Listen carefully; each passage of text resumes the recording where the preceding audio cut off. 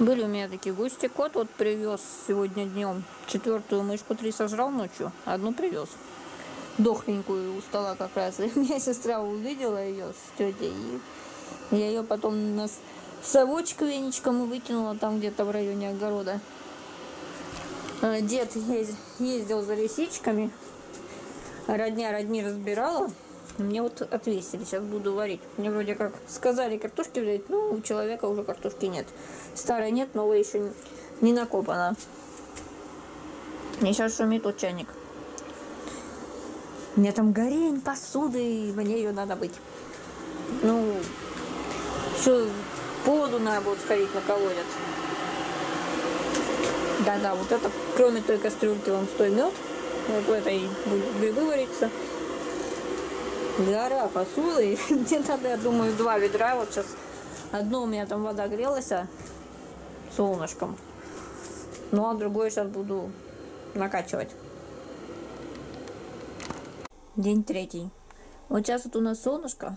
Ну, буквально, может, где-то час назад я попала под дождик, когда ездила по круговой проверить кипрень. Но, видимо, это повсеместно, потому что вот у нас кипрей, что за цветочным загородом на поле, что тут в одном месте. Он вот только молодые веточки, самые верхние листочки, они в порядке, остальные уже с болячками. До цветения он был как бы нормальный, после цветения, но тот, что я смотрел, он молодой, там и до цветения еще не дошло. Мне вчера огурчиками снабдил наш дедушка, последний дедушка. Не, вообще предпоследний дедушка. Не последний дедушка, еще это последний. Э, в общем, муж бабушкиной средней сестры. Муж бабушкиной младшей сестры вместе с самой бабушкой, в смысле с самой этой сестрой, есть еще выдрах. Но это здесь, в общем, дядя Толя. А это чисто мой личный урожай. Чеснок, который я как-то выкопала не весь, потом специально выкопала не весь, потом, по-моему, еще забыла его тогда выкопать. У меня были только зеленые штучки. На трассе тоже собрала, сейчас порезала.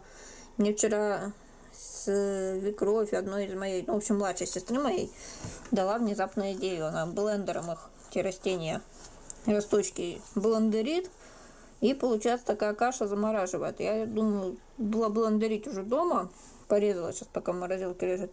И потом добавить соли, чтобы была чесночная паста, там суп добавить, салат какой.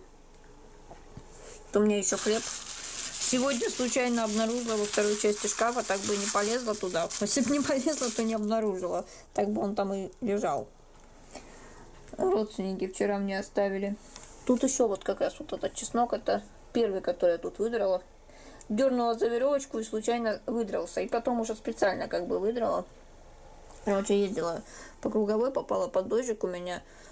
Ну, он не сильно был дождик, начинался такой грибной, потом покрупнее пошел, потом подзакончился. Но брюки у меня вот так вот сверху вымокли немножко, футболка вымокла, рубашка, в которую я уже потом сняла, покрыла просто этот, ну как бы в корзинке у велика была вот она на стуле, эта рубашка сейчас. Она, кстати, тут оставалась, а висит. Немножко они помокли. Вот сметана. Сейчас у меня будет обед. Вообще-то третий прием пищи за день. Я что-то поздно встала. Ну, вчера так уконетелилась, что там гора посуды была, которую надо было помыть. И разбирала дары из родственного огорода. Короче, где-то около 12 только освободилась, а спала где-то так до 11. Около того. Хотя пораньше хотела лечь, пораньше встать. В общем, у меня была кашка вчерашняя, как вчера на завтрак. Правда, чай у меня был с вареньем вишневым. Я сюда маленькую баночку взяла. Вишня покупная. Потом у меня был бутербродик с киробом и с черным хлебом вот перед тем, как поехать на велике. Ну и сейчас вот у меня будет суп, а салат э, вместе с грибами. Лисичками, которые меня тут оставили. Я еще вчера полтора гриба нашла. Ну, в смысле, ну да, два гриба еще сегодня половинку. И белые при этом два я сделаю уже как бы к вечеру на ужин. У меня сейчас больше греется. Я сегодня делала поручение. С медогонки должен был стечь мед. Утром надо было открыть. И вот он стекал. Ну, я не помню, сколько было, но приличненько так натекло. Ложка из-под меда. Вчера родственники мед качали. Ты в чашечка стоит на случай, если вдруг что капнет. Ну, там что-то капало, кстати. Я вчера еще вечером ободрала часть малины. Ну, точнее, освободила ее от крапивы и всяких сорняков. Сегодня еще вторую половину буду делать. Хотела утром снять малину, там немножко назрело. Должно было дозреть, потому что вчера мне совсем чуть-чуть зрелых ягод попалось, причем в глубине таких кустов. И я думаю, сегодня вечером часть сниму, и завтра еще часть. Еще завтра планирую до Прилук доехать. Там такая дорога, я думаю, надеюсь, что она действительно до конца такая. Приятного аппетита, хозяин. Я принес тебе мышь, пятая, за все время бытия. Я сейчас слопала две тарелочки борща, вторую уже без чесночка. Я сюда привезла сенчу, который мне Хадин прислал. Немножко тут оставалось уже. Не оставалось, тут молочко было, третья коробочка. Коту тоже перепало, в принципе, этого молочка еще с утра. Но сейчас я хочу разбавить сенью молочком. Еще у нас есть тут соседи одни. Ну, короче, сосед, который мне велик раньше давал, свой, старый. К нему приехала родня. И у этой родни такая феерическая собака. То ли им вообще пофигу на эту свою собаку, и они ее, возможно, даже не кормят. То ли я чуть не догоняю, потому что собака где-то полчаса назад слышу хлобысь, дверь э, как на двор идти, откуда, кстати, сейчас кот пришел. А выхожу, никого нету. Перед этим, значит, глянула в окно, бегает эта шавка. Я так поняла, что она заходила, пыталась открыть эту дверь, где есть окошечко только для котов. Не пролезла шавка, кстати, такса, и как мне вчера другая девочка соседская сказала, что шавка мужеского пола, Короче, оно вот шастает везде, где открыто. Собаке пофиг дыма, никак не реагирует. До этого она тут тоже ошивалась. Вчера ее пыталась прогнать. Лает и вообще никак не реагирует дальше. Я в таком офиге. Вот, ну, как бы вы приехали в деревню. Тут у кого-то могут быть коты. Да в деревнях всегда коты. Плюс там вот дальше есть собаки. Но я так поняла, что этой собаке хватает ума не ходить туда, к другим собакам большим. В общем, я Э, в ленивом офигении, в негодуе. Вот тут кот. Слышно, да, как он ее хреначит? Главное, я надеюсь, что он ее до конца съест. Его можно уже больше не кормить. На мое счастье, он будет питаться мышами. Нам пришел кот. Я думаю, что такое мяукает так громко через дом? Мой-то дома, а это вон тут сидит гость.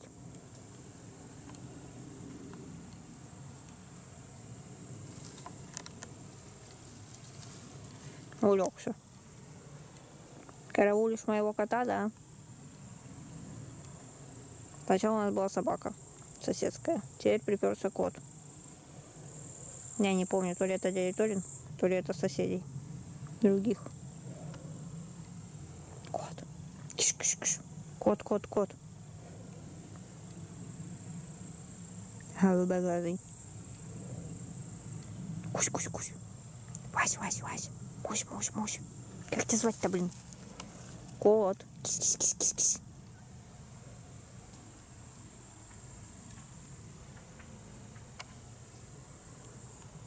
кис, кис, кис, кис. Кис, кис, кис, кис, кис, кис. Я пошла смотреть на камеру гнездо.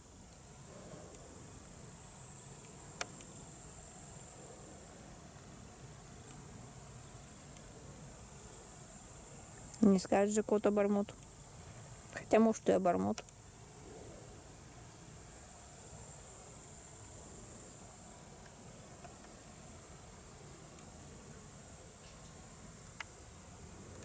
Ладно, может, ты на обратном пути тут же будешь. Там какой-то желтый листочек.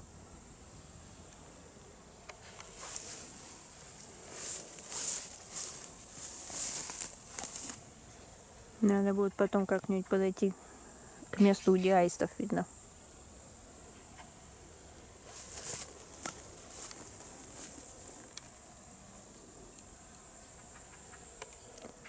Пустой дом вблизи.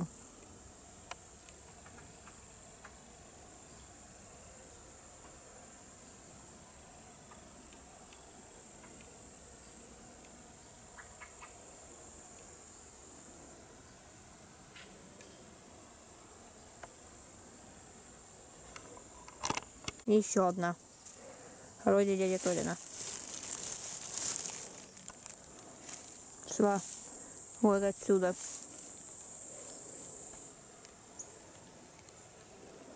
Благодаря одной маленькой занозе мы лишились в свое время выхода вот этого. И теперь мне не пройти в полисадник сзади дома.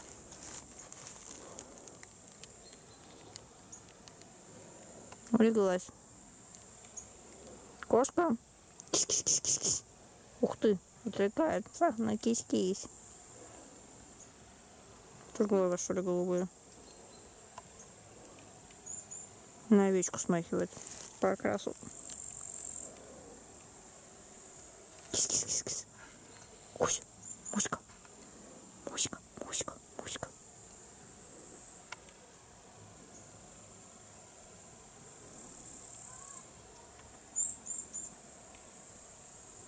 Ну ладно, я иду дальше.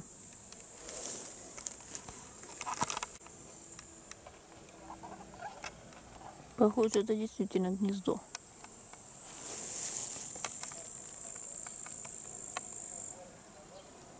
Чье-то гнездо на сосне.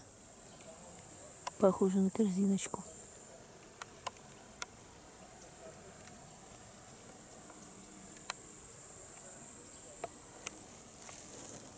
На сосне веселый дятел. Только тут гнездо у нас. Ой.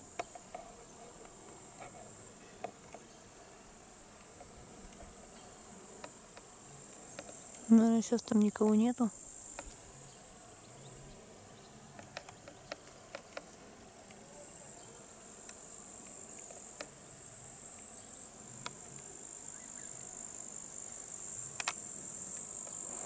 Слегка в маячке шарахалась.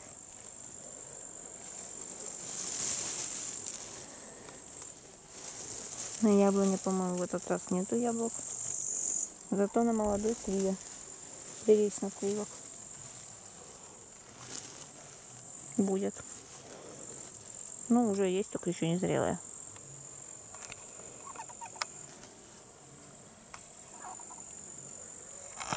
В этот раз зайти не до конца докосили. Я вот сейчас хочу глянуть, потому что так не подойти напрямую, безболезненно. Ну, в смысле, если не протаптывать. Если на коринке чего. Потому что ягоды были еще не зрелые месяц назад, но их уже атаковали птицы. Гадские птицы в этом плане. С той стороны вообще все склевано. Я вчера, когда обрывала, выдирала крапиву, то ветка такая высокая отдельная выше всех выделилась. То увидела, что там ничего нету. Ну, в общем, печально, но по ходу дела действительно ничего нету. Может быть, получится на левый берег в начале августа съездить. Там за Женькиным домом есть лесок и есть Каринка. Но ее еще называют Ирга. Уже несколько лет не получается вот так. В прошлом году она болела. Но зато калина ожила и действительно много. И наверху, и с той стороны тоже. И в сентябре, в конце, можно будет собирать.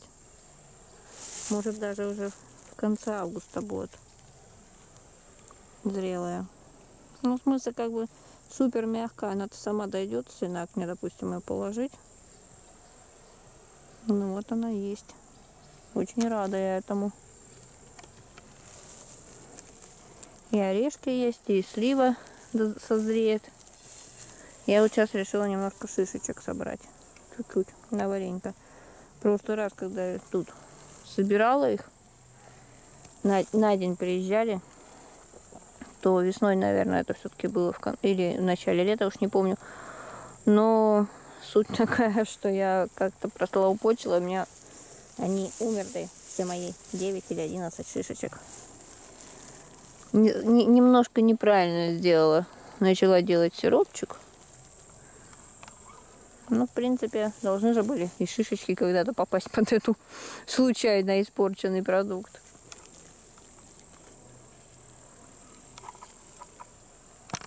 Пятый прием еды. Картошка жареная, свежая, кстати, с грибами, лисичками, с луком, чуть-чуть солью и на кокосовом масле. Тут уже не так красиво, как вчера было, точнее, позавчера. Я просто порезала на всякий случай, вдруг захочется. Э, салат, яйцо вареное, э, петрушка, огурчик, соль и сметанка. Вроде ничего не забыла. Там мне еще есть немножко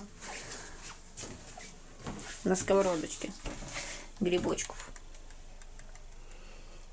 Почему пятый прием пищи? Потому что после обеда я немножко еще попила просто чая с молоком.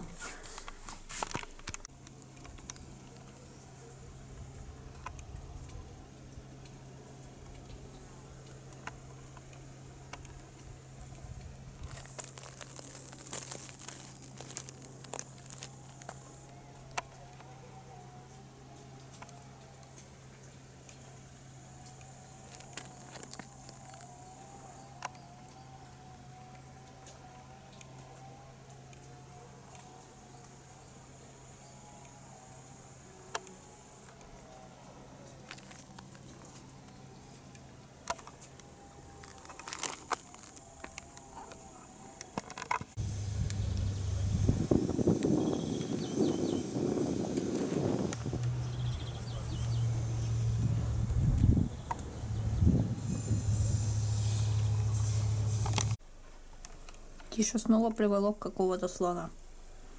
А хозяин вообще-то обедает.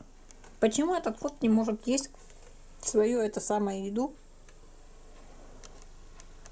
На улице, блин. Ужин на природе. А все почему? Потому что дома какие-то неведомые пчелы где-то часов пяти выперлись с кухни и дихлофосом их особо не убилось. Ну и как бы за два захода дихлофоза. Там теперь пахнет этим дихлофосом. А есть-то хочется. А сейчас уже почти 7, наверное.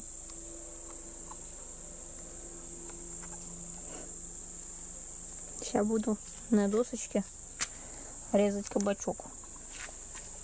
Не совсем то, что я хотела, но хоть что-то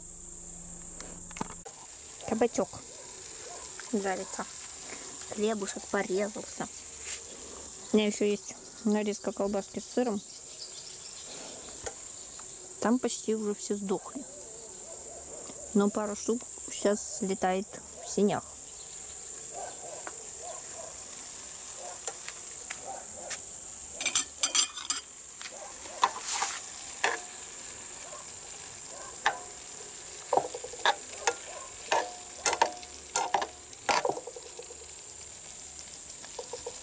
Это уже посолила.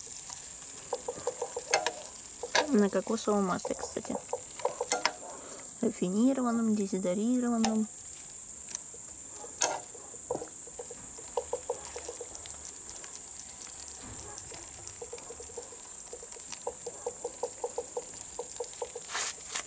Жрут комары.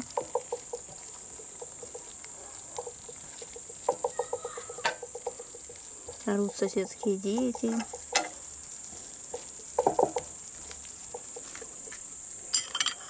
Потом я на пруд, ой, на пруд на колодец пойду.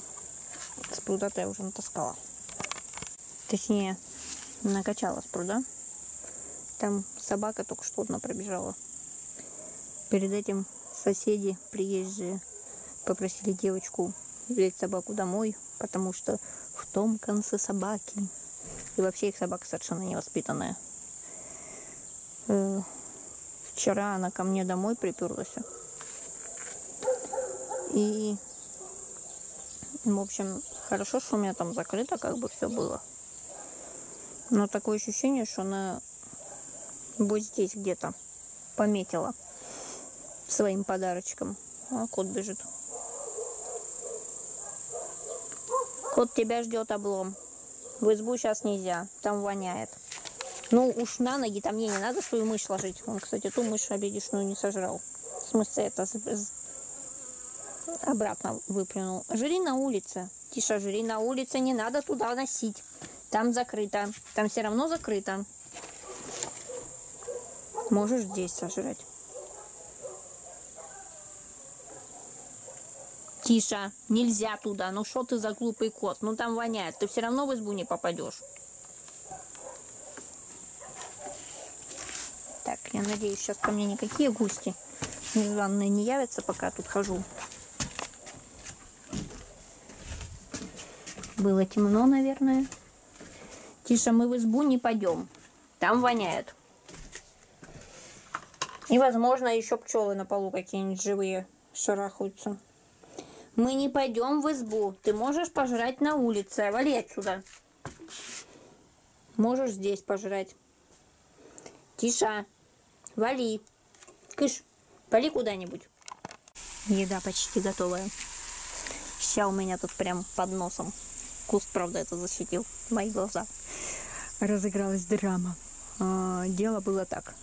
Я думаю, одной девочке отсветила за то, что она такая двуличная. Короче, допустим, вы с кем-то общаетесь, постоянно за глаза обсираете с ног до головы человека, но при этом не брезгуете куда-нибудь вместе на машинке сгонять, хавчика вкусного пожрать и вообще все блага цивилизации получить от человека.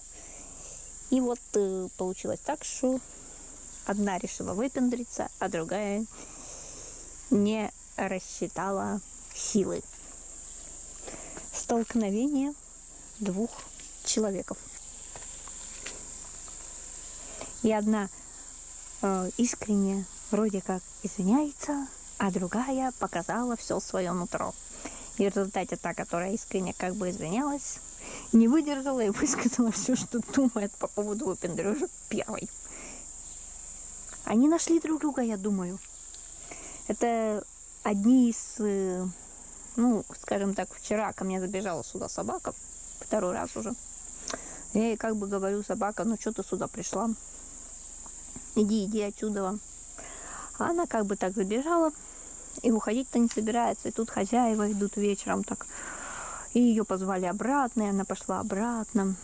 И с другими соседями нашими так между делом говорят, а тут что, кто-то приехал? Да, типа кто-то приехал. И я, ну и что-то такое сказали, что типа раз кто-то приехал, значит сюда нельзя ходить. Я думаю, а то, что в этом, ну, как бы дом тут жилой, кому-то он принадлежит.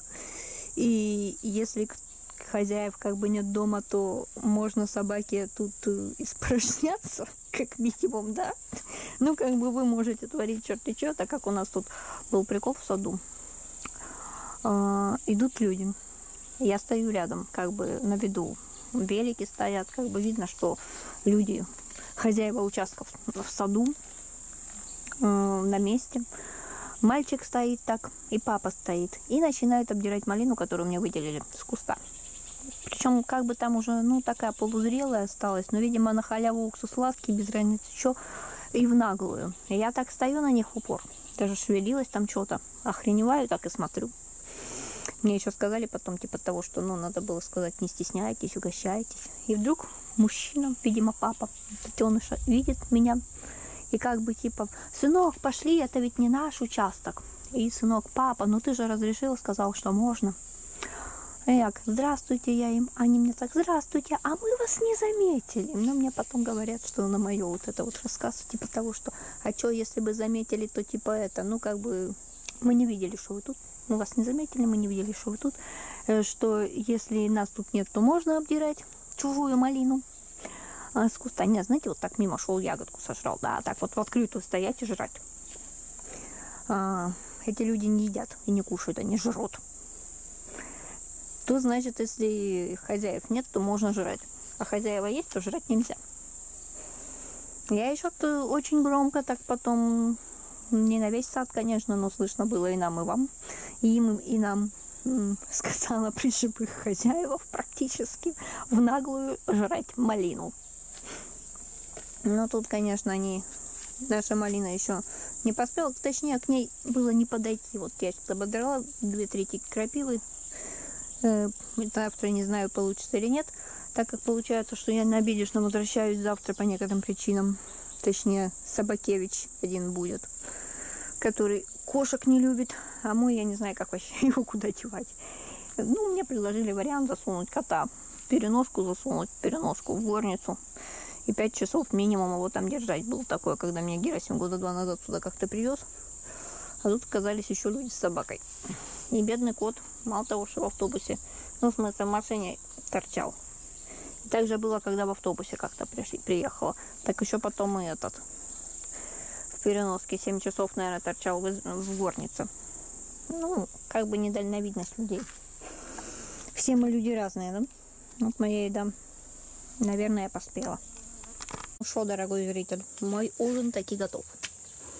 Но мыть-то посуду я уже буду в доме. Сейчас около восьми. Сейчас узнаем точное время. Потому что там практически уже почти все выветрилось. Но через час будет совсем уже в идеале. 19.49.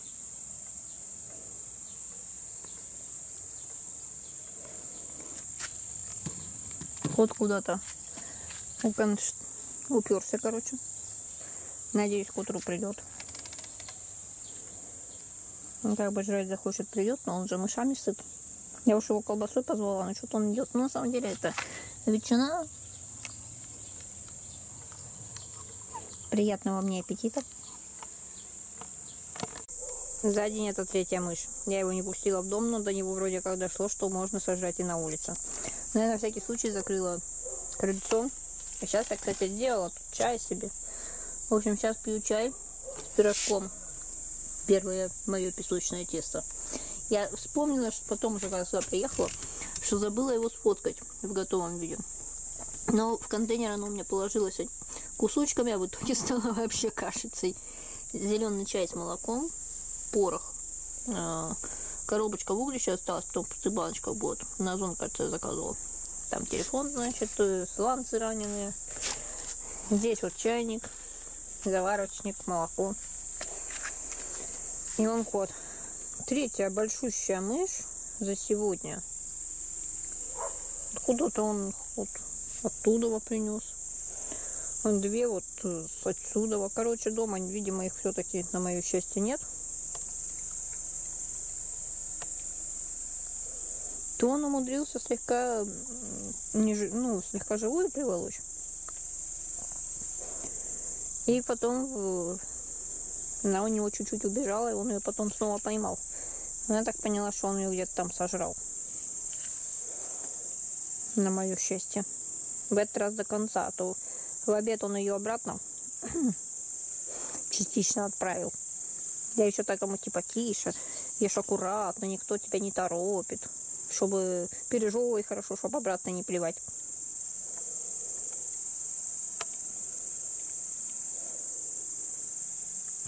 Ну, в городе там мышей... Ух ты, в городе там мышей нету.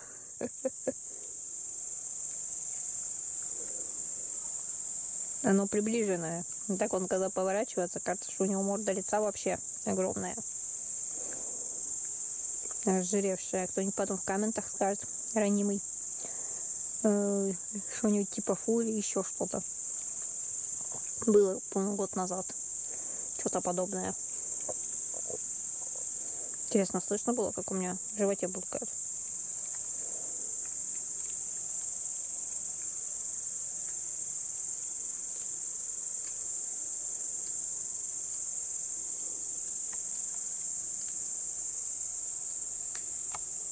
Ну, я сегодня в обед свой салатик еле доела. Когда он еще не приперся, такой, блин, мало салатика, надо бы еще что-нибудь потом сделать попозже.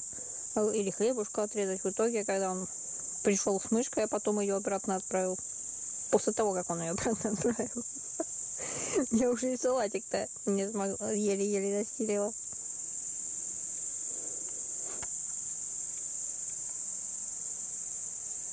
Вообще, до того, как пришло нашествие странных пчел, я планировала на гамачке посидеть, э, по... заниматься японским, а потом помонтировать. В итоге я на гамачке посидела, но уже без японского, без монтирования. Ну, единственный плюс, спасибо пчелам, я тут покушала. Давно у меня не было хавчика на свежем воздухе, тем более в деревне.